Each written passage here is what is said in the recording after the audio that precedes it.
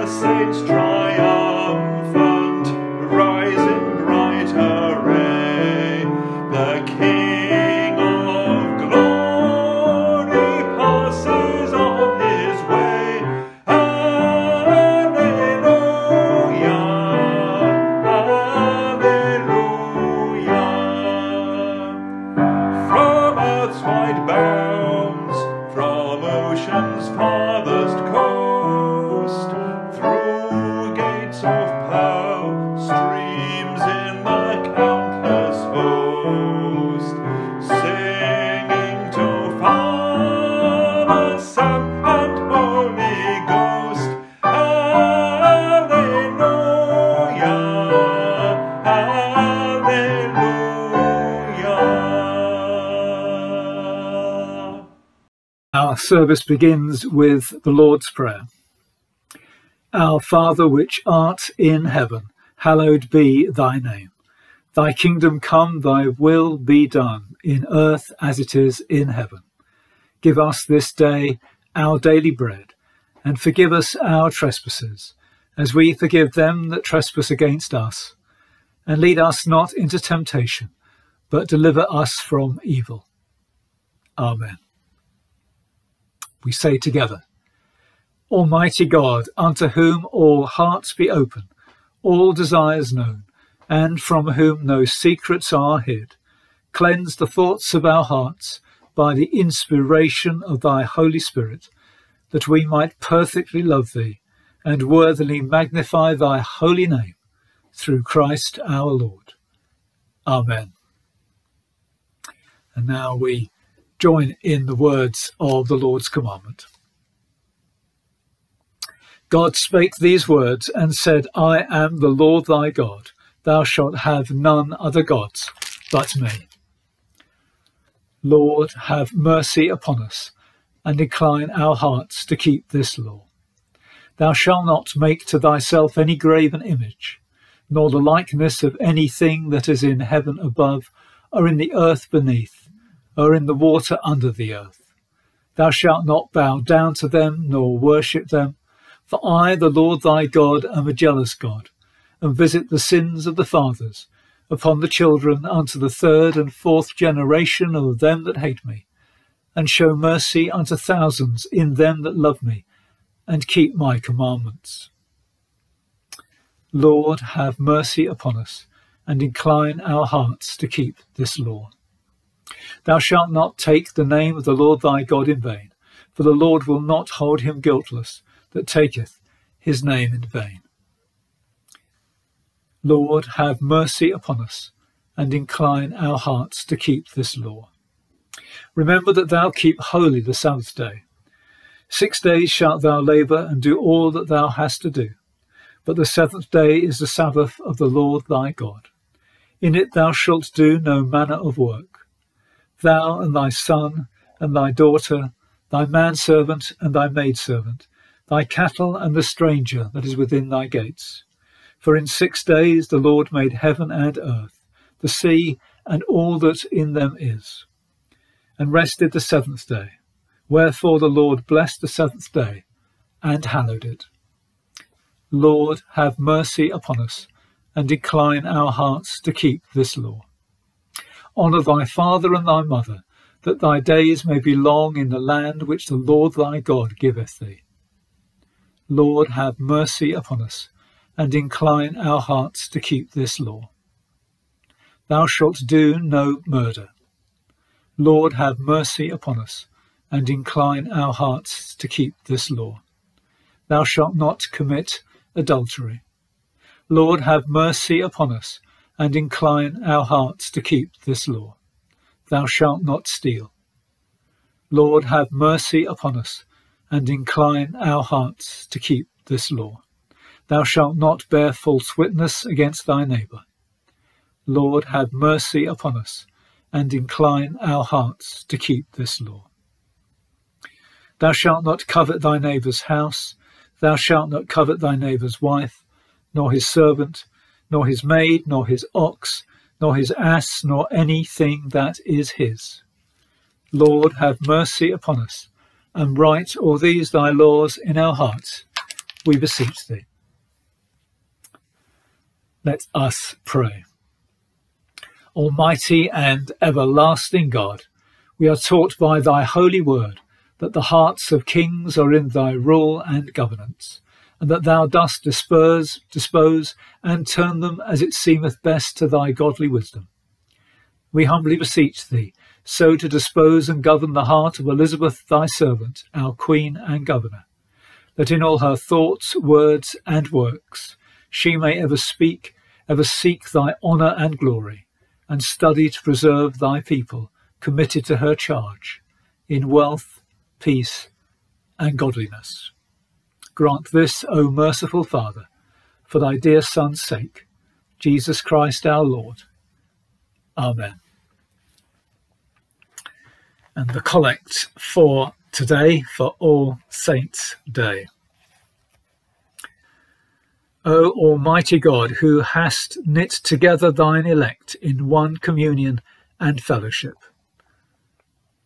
In the mystical body of thy Son, Jesus Christ our Lord, grant us grace so to follow thy blessed saints in all virtuous and godly living, that we may come to those unspeakable joys which thou hast prepared for them that unfeignedly love thee, through Jesus Christ our Lord. Amen. And now we have our readings. The Old Testament reading is Isaiah chapter 25, verses 6 to 9. On this mountain the Lord Almighty will prepare a feast of rich food for all peoples a banquet of aged wine, the best of meats and the finest of wines. On this mountain he will destroy the shroud that enfolds all peoples, the sheet that covers all nations. He will swallow up death for ever. The sovereign Lord will wipe away the tears from all faces. He will remove his people's disgrace from all the earth. The Lord has spoken. In that day they will say, Surely this is our God. We trusted in him, and he saved us. This is the Lord. We trusted in him. Let us rejoice and be glad in his salvation. Here ends the reading. This is the word of the Lord. The epistle is Paul's letter to the Ephesians, chapter 1. Paul, an apostle of Christ Jesus, by the will of God, to God's holy people in Ephesus, the faithful in Christ Jesus. Grace and peace to you from God our Father and the Lord Jesus Christ. Praise for spiritual blessings in Christ. Praise be to the God and Father of our Lord Jesus Christ, who has blessed us in the heavenly realms with every spiritual blessing in Christ. For he chose us in him before the creation of the world to be holy and blameless in his sight. In love, he predestined us for adoption to sonship through Jesus Christ, in accordance with his pleasure and will, to the praise of his glorious grace, which he has freely given us in the one he loves. In him we have redemption through his blood, the forgiveness of sins in accordance with the riches of God's grace that he lavished on us.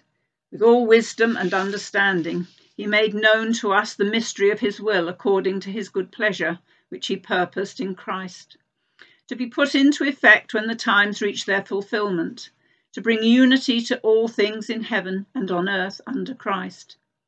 In him we were also chosen, having been predestined according to the plan of him who works out everything in conformity with the purpose of his will, in order that we, who were the first to put our hope in Christ, might be for the praise of his glory.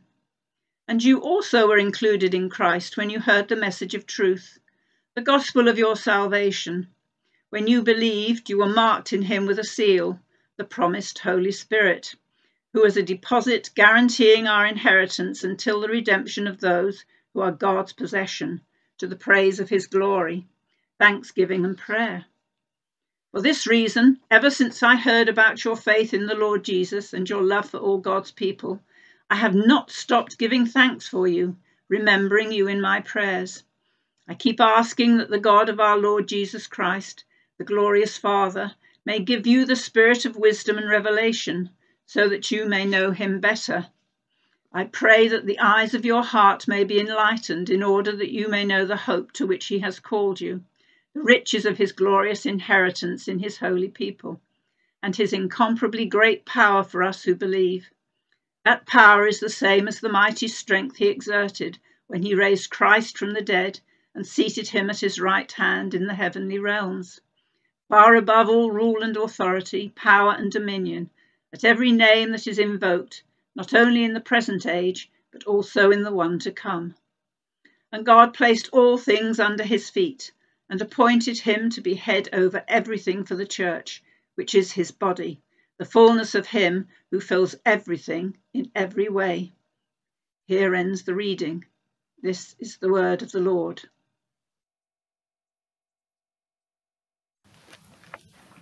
Our Gospel reading comes from the 11th chapter of John's Gospel, reading verses 32 to 44.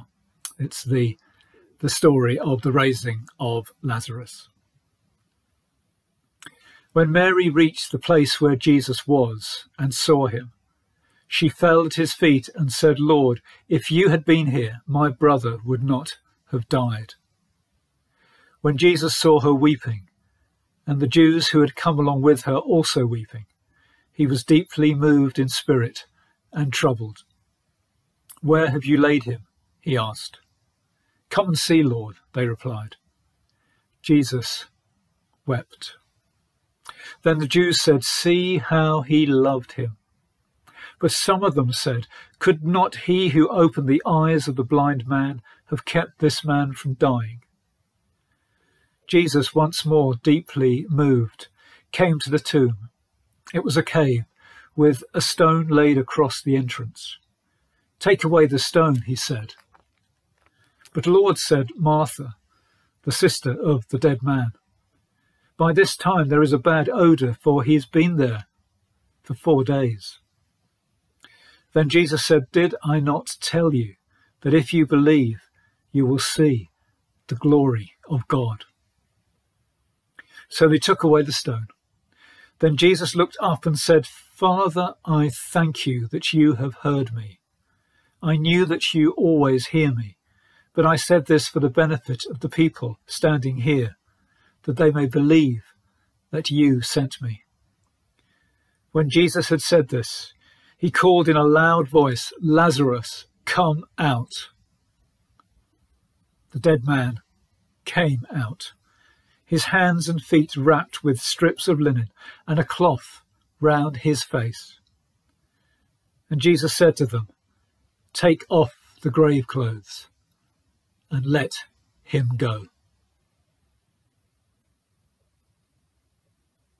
This is the gospel of our Lord. Amen. And now we join in the words of the Creed declaring the faith that we share.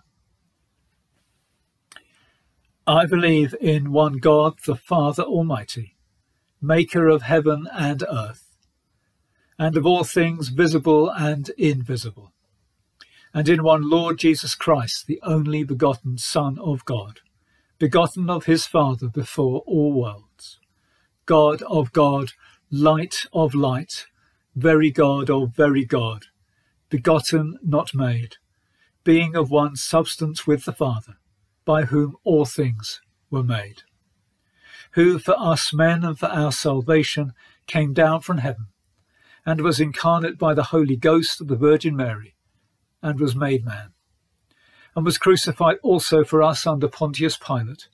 He suffered and was buried. And the third day he rose again according to the Scriptures, and ascended into heaven, and sitteth on the right hand of the Father and he shall come again with glory to judge both the quick and the dead, whose kingdom shall have no end.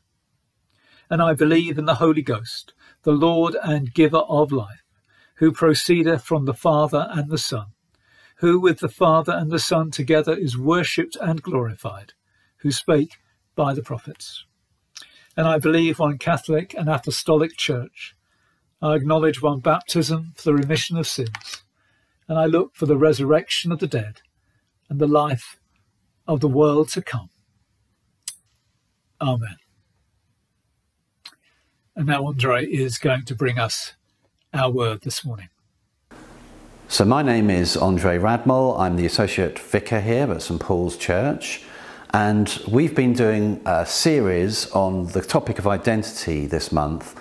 And in this talk today, I'm going to wrap up some of the themes that we've been covering in this series. We are different people depending on the role that we're playing and depending on who we're with at the time. So I am a husband. I've done the dishwasher and I've only gone and put the bins out. I am a friend. Want to go for a coffee? I'm a therapist. How does that make you feel? I'm an actor. To be or not to be? Yeah, that is the question. I am a vicar.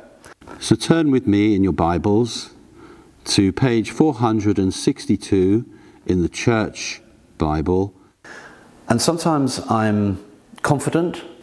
Anything's possible if you just dream big enough. And sometimes I'm shy. Oh, I'm just a bit busy. All of these different aspects, and that's just some of them, are all who I am. We've just seen different fragments of my life, and they're not all of the fragments that we could have looked at. Am I a vicar?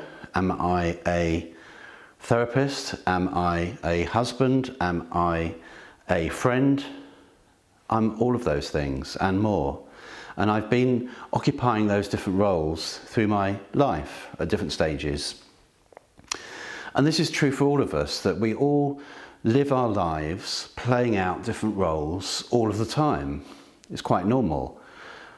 Now, in this sermon series, through the whole of October, we've been thinking about what it means to be in Christ. And the first thing I want to say about this is that being in Christ doesn't mean that we lose our individuality or the specific nature of our own lives. So all of those different roles that we play, they continue to be played out. And I think sometimes we can have this kind of idea that being in Christ is somehow to be a bit perfect, to be uh, very holy, um, very on top of all the problems, maybe not to have any problems. But the, the truth of the matter, as we know, is that in life, there's ups and downs, there's good bits and bad bits, things that we really struggle with, things that we might feel quite bad about even in ourselves. And yet, these different facets are a bit like, I, I would say it's actually a bit like a stained glass window. So if you think of a stained glass window, we've got some at St Paul's, the light comes through those scenes in the stained glass. And different windows in churches will have all sorts of different stories in them, often from the Bible, of course, but it's the same light that comes through them from the other side and illuminates them. And I think it's really like that in our own lives, which is to say, we'll have very specific things that we are doing, different things that we are focused on in our own life story, but it's the same light that comes through. And actually, I think that in Christ, these aspects of our lives become illuminated, they become lit up, and they also somehow come together as a whole. And that's just thinking about us individually.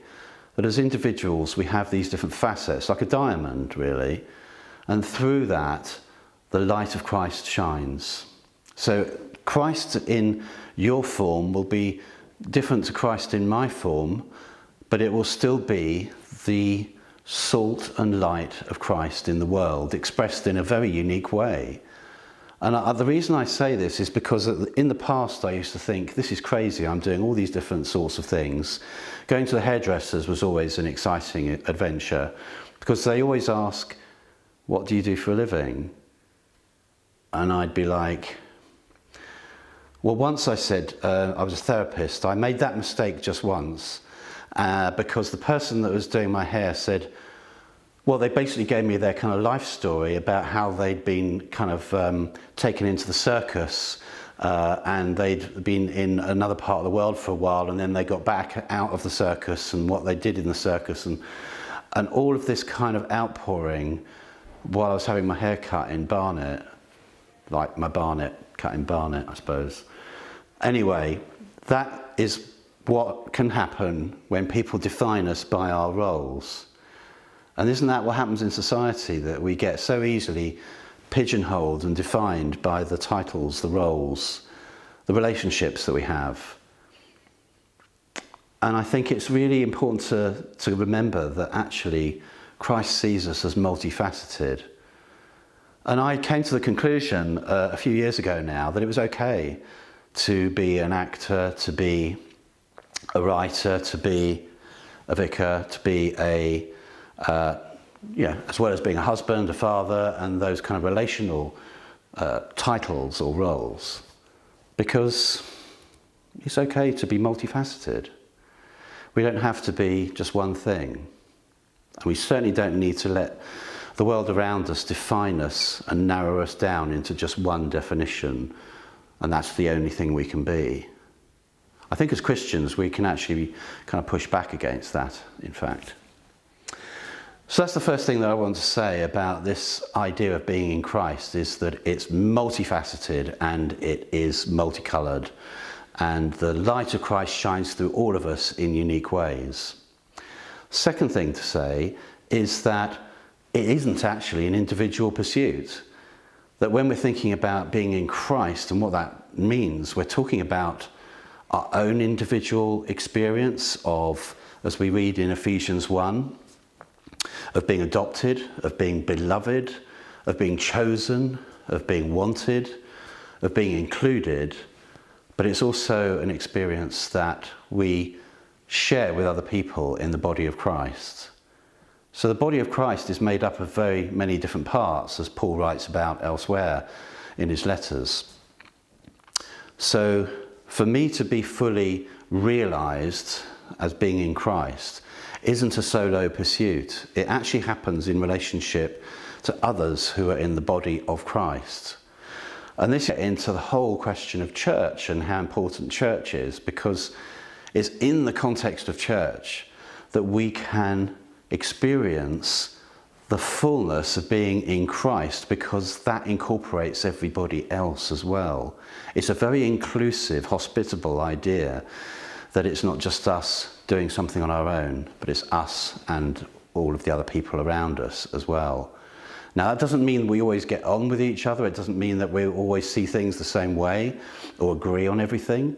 But it, that multiplicity and that those multiple kind of uh, angles really go to make up this whole thing, which I would describe as being in Christ.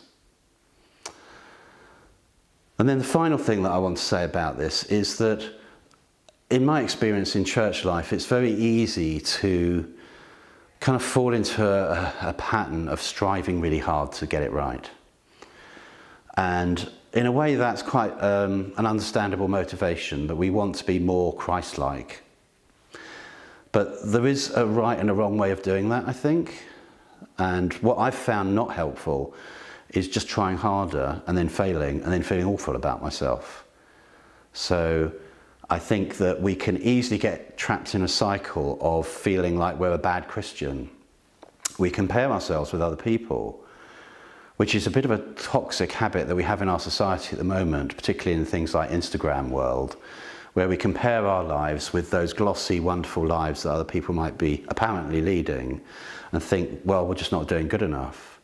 I think the same thing happens for Christians, is we think, if only I prayed more, if only I read the Bible more, if only I went to church more, if only I worshipped more, if only I did this, that, and the other, went to this conference or whatever, that we would be somehow transformed into being more like the likeness of Christ.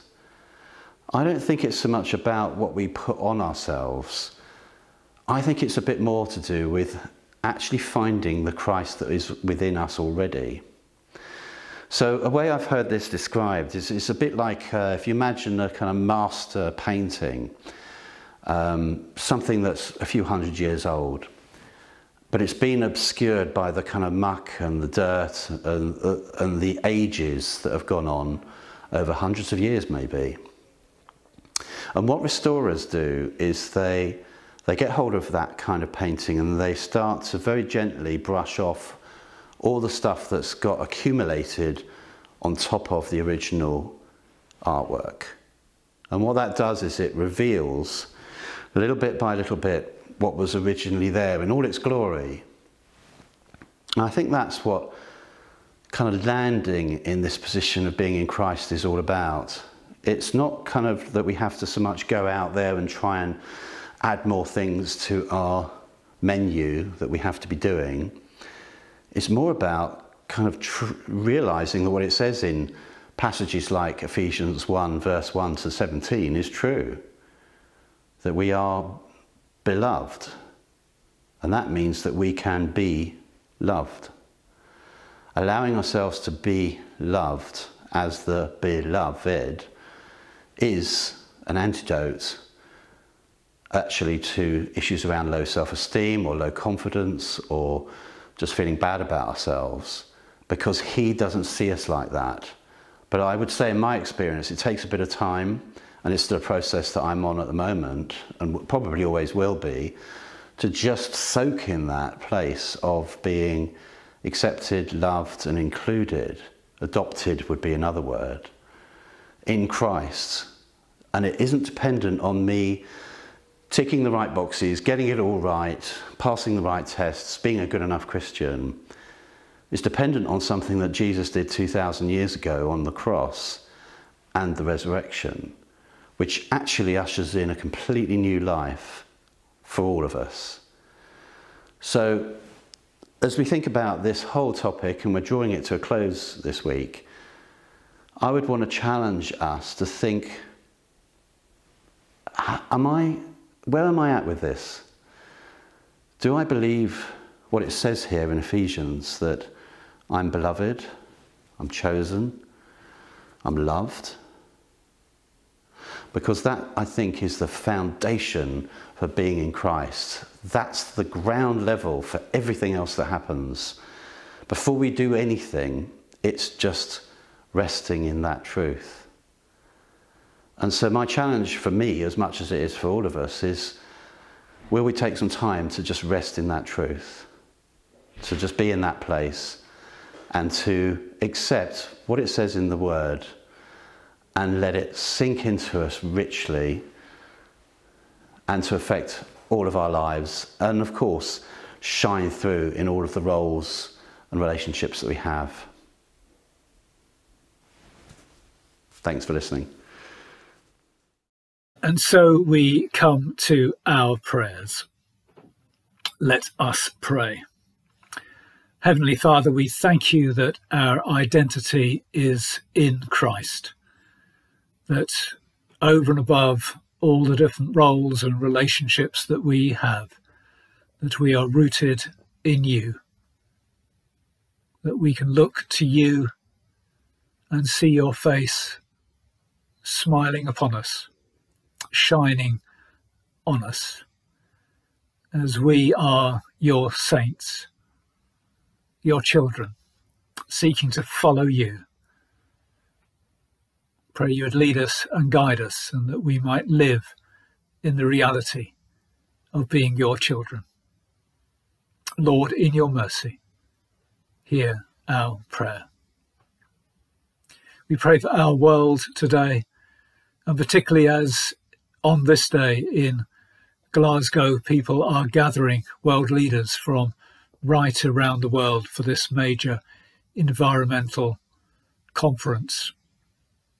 We pray for all the decisions that will be made, all the deliberations that will take place, all the meetings, all the discussions, all the resolutions.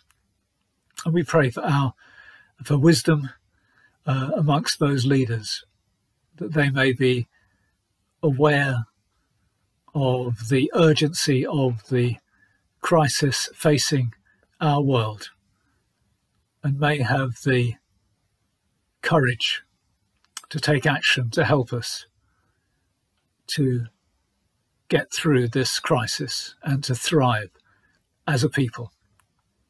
And we pray that decisions they take may be based on justice for all, that all nations, that all nations may thrive in the years ahead. Lord, in your mercy, hear our prayer. We pray for our leaders of this nation, for the government, for the opposition parties. We pray for all MPs. Pray particularly for Daisy Cooper, and for Bim Afolami, who serve us here in St. Albans, that you would give them wisdom and integrity and courage and insights to seek to do what is right and what is just. We pray for all those who serve us, all our elected officials at district council and county council, and parish council level. For those who work in the education fields, for those who work in the NHS or in the judiciary, and in all other places. We're encouraged today to be praying for our media. And we pray for those who work in our local media, for those who work for the Herts Advertiser, the St Albans Review, for Radio Verulam, for Three Counties Radio, that they may be seekers after truth. And we pray too for all Christians, for the many Christians who work in different fields of the media, that they may be able to serve you there with integrity and strengthen them in their vocations, dear Lord. Lord, in your mercy, hear our prayer. We pray for ourselves as a church that you would lead us and guide us in this new season, that you would be with Diane and Jono, give them wisdom as they get to know the church. For all our staff, for all our volunteers, for everyone who plays a part in the life of this church, that they may be blessed and be a blessing to other people. Lord, in your mercy, hear our prayer. We pray for those who are unwell or bereaved at this time, and in a moment of quiet, we bring them before you. Lord, in your mercy, hear our prayer. And lastly, we pray for ourselves that you would be with us and uphold us. Help us to grow stronger in our faith. Help us to be aware each day of our core identity as sons and daughters of the risen Lord. Amen. Ye that do truly and earnestly repent you of your sins and are in love and charity with your neighbours and intend to lead a new life, following the commandments of God and walking from henceforth in his holy ways, draw near with faith. And take this holy sacrament to your comfort and make your humble confession to Almighty God. Almighty God, Father of our Lord Jesus Christ, maker of all things, Judge of all men, we acknowledge and bewail our manifold sins and wickedness, which we from time to time most grievously have committed, by thought, word, and deed, against thy divine majesty, provoking most justly thy wrath and indignation against us. We do earnestly repent and are heartily sorry for these our misdoings. The remembrance of them is grievous unto us, the burden of them is intolerable. Have mercy upon us. Have mercy upon us, most merciful Father, for thy Son, our Lord Jesus Christ's sake. Forgive us all that is past, and grant that we may ever hereafter serve thee and please thee in newness of life. To the honour and glory of thy name, through Jesus Christ our Lord. Amen.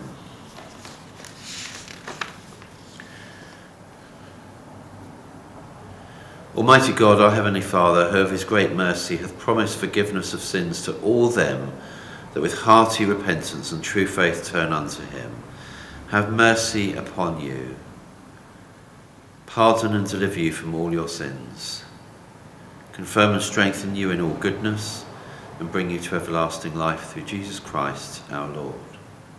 Amen. Hear what comfortable words our Saviour Christ saith unto all that truly turn unto him. Come unto me, all that travail and are heavy laden, and I will refresh you. So God loved the world, that he gave his only begotten Son, to the end that all that believe in him should not perish, but have everlasting life. Lift up your hearts, we lift them up unto the Lord. Let us give thanks unto our Lord God, it is meet and right so to do. It is very meet, right, and our bounden duty that we should at all times and in all places give thanks unto Thee, O Lord, Holy Father Almighty, everlasting God. Therefore, with angels and archangels, and with all the company of heaven, we laud and magnify Thy glorious name, evermore praising Thee and saying, Holy, holy, holy Lord God of hosts, heaven and earth are full of thy glory. Glory be to thee, O Lord most high. Amen. We do not presume to come to this thy table, O merciful Lord, trusting in our own righteousness, but in thy manifold and great mercies. We are not so worthy so much as to gather up the crumbs under thy table, but thou art the same Lord, whose property is always to have mercy. Grant us therefore, gracious Lord, so to eat the flesh of thy dear Son Jesus Christ and to drink his blood, that our sinful bodies may be made clean by his body, and our souls washed through his most precious blood, and that we may ever hereafter dwell in him and he in us. Amen. Almighty God, our Heavenly Father, who of thy tender mercy didst give thine only Son, Jesus Christ, to suffer death upon the cross for our redemption, who made there, by his one oblation of himself once offered, a full, perfect, and sufficient sacrifice. Oblation and satisfaction for the sins of the whole world, and did institute and is in his holy gospel command us to continue a perpetual memory of that his precious death until his coming again. Hear us, O merciful Father, we most humbly beseech thee, and grant that we, receiving these thy creatures of bread and wine, according to thy Son, our Saviour Jesus Christ's holy institution, in remembrance of his death and passion, may be partakers of his most blessed body and blood, who in the same night that he was betrayed took bread, and when he had given thanks, he brake it and gave it to his disciples, saying, Take, eat, this is my body which is given for you. Do this in remembrance of me. Likewise, after supper, he took the cup and when he had given thanks, he gave it to them, saying, Drink ye all of this.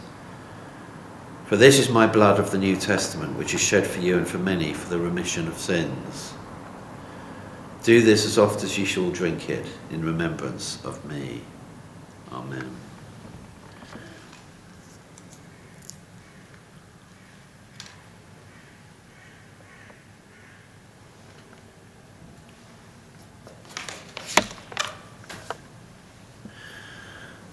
Our Father, who art in heaven, hallowed be thy name.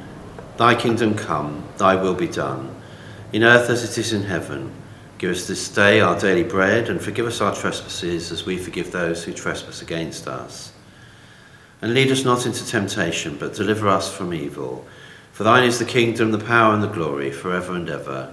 Amen.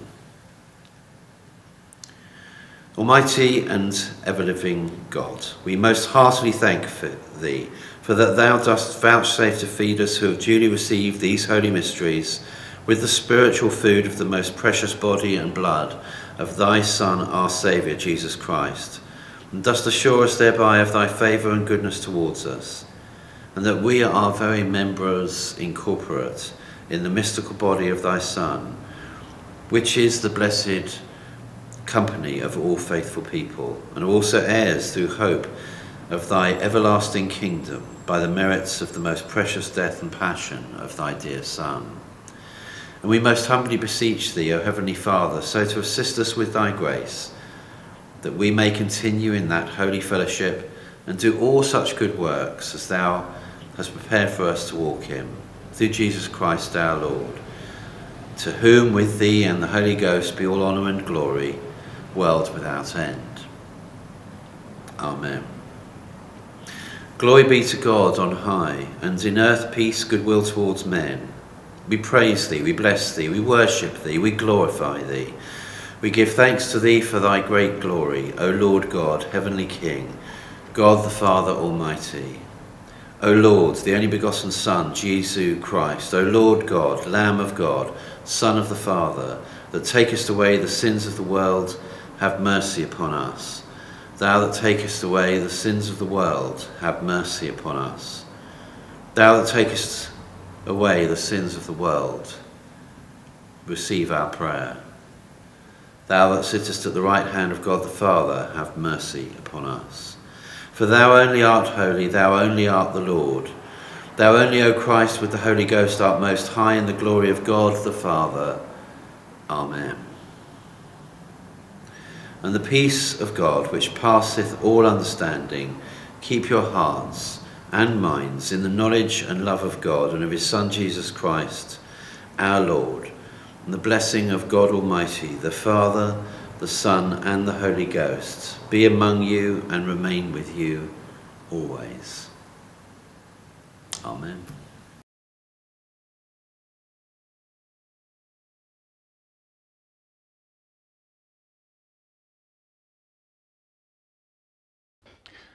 Well, good morning uh, to you uh, at the 8 o'clock congregation online this morning.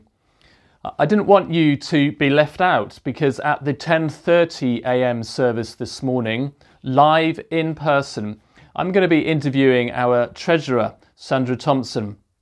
And together we'll be giving an update on the state of the church's finances. It's great that so many things are back up and running now, but of course, there's a cost implication to that. And we just wanted to be upfront um, and clear uh, about uh, the implications of pursuing God's call and God's vision for us as a church. So on Monday morning, we're going to be sending out a link by email to everybody in the church, yourselves included, uh, with a link uh, to that uh, uh, interview which is going to be recorded. We do hope you'll be able to watch that um, and uh, respond as the Lord uh, leads you. Uh, so God bless you. have a great week, and I look forward to being with you soon. Bye for now.